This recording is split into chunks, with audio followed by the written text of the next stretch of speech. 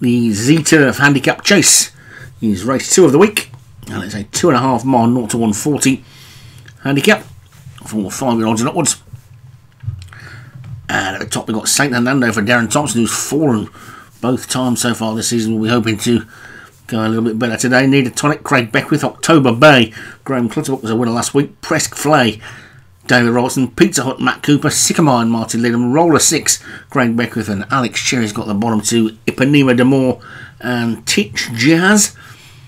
So a field of nine, the top weight having fallen the last two times means that October Bay the only winner in the field. So as they get to the first, and oh, there's a fall already. It's Pizza Hut's gone. So Pizza Hut is out. The Pizza Hut has no topping at the moment and is heading towards the second riderless, and they get over that one. Okay, and Matt Cooper's not going to finish fifth in this one. He's blazing the trail though, but he hasn't got a jockey on board. Titch Jazz is now come through to take it up as they get over the third. And Titch Jazz and St. Hernando. St. Hernando, who's fallen both races so far this season. Be hoping to go a bit better today. Must, must have some form from a previous season to be top weight. October Bay in second. And a gap to the only remaining grey in the race. Presque Play. Alex Cherry's got two. Both from his blue cap game. Titch Jazz and Ipanema de Mort. Sycamore after that one as they take the fifth.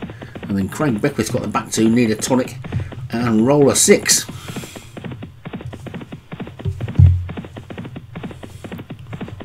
Heading down towards the sixth. And St. Hernando jumped okay so far today. With October Mail is inside as they get out a good jump there by St. Hernando. The one down on his nose was Titch Jazz. Alex Cherry's other one.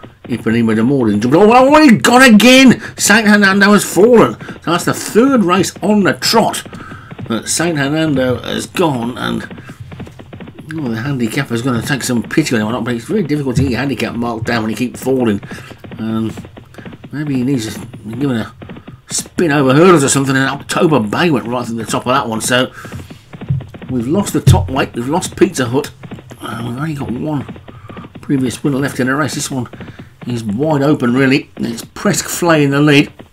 And Titch Jazz on the outside. Alex Cherry still looking for his first winner of the season, unbelievably, into week three as they get over the next. And he's got two chances in seven now. I'm getting the winner here.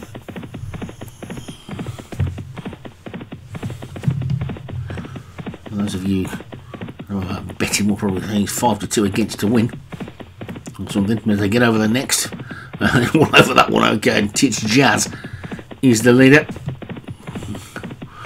And joined by Nita Tonic, Presque Flay. They're pretty tightly grouped at the top. In fact, they're pretty tightly grouped throughout now. There's only probably about eight lengths first to last. And they've only got seven furlongs still to race. And down towards the business end of the race. Four more fences to take.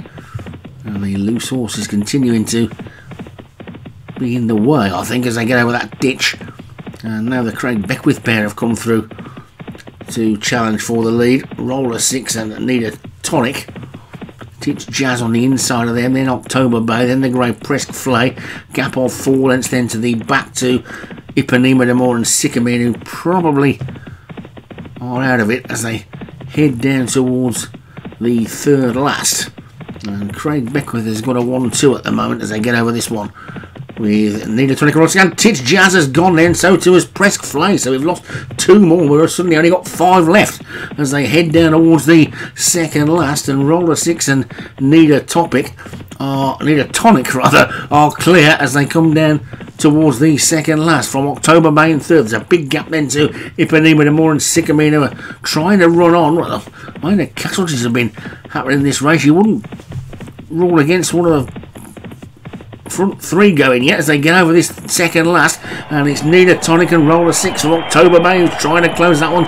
Is the top weight left in the race really now, but it's Nina Tonic. They're over the last and heading towards the final furlong. And Nina Tonic is well clear. Looks like going to take this handicap pretty comfortably up towards the line. Nina Tonic for Craig Beckwith is going to take it from October Bay.